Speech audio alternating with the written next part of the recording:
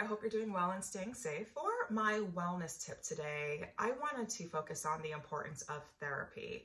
I have been seeing a therapist, an awesome therapist, for like the past several years now, and I have found therapy to be so helpful for unpacking complicated emotions and just figuring things out, talking things out, and helping to set a clear thought path forward. So I believe that in times like this, if you don't already have a therapist, I highly recommend getting one because we're all battling complicated emotions right now. For me, I can say that I sometimes feel anxious given the pandemic, all the news and updates about the pandemic. I sometimes feel anxious. I sometimes feel fearful. I sometimes am triggered by some of the information that is hitting my newsfeed. And so, for all of those reasons and nuances in between, I am so grateful to have a therapist that I feel so comfortable confiding in and sharing my vulnerabilities, my concerns, my fears, my um, my every anxious thought. Like she's awesome.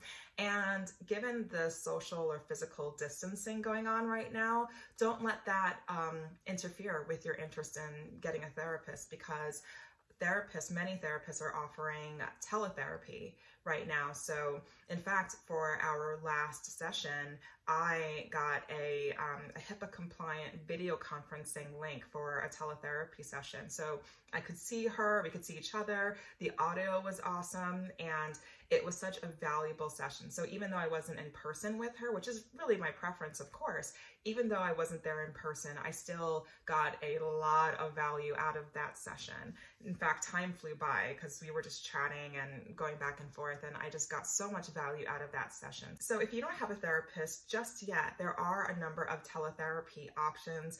Off the top of my head, I know about Talkspace. I've seen some mixed opinions about Talkspace, but that's an option.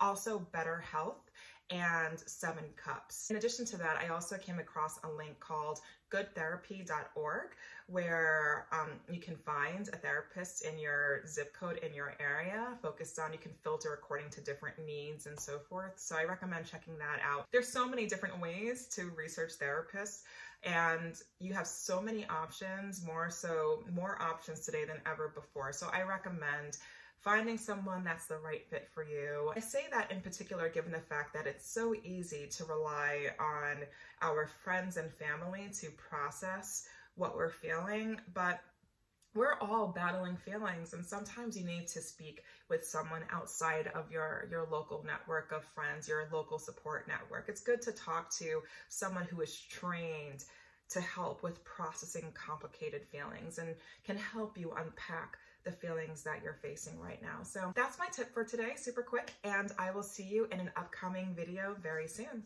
Have a good one and stay safe. Bye.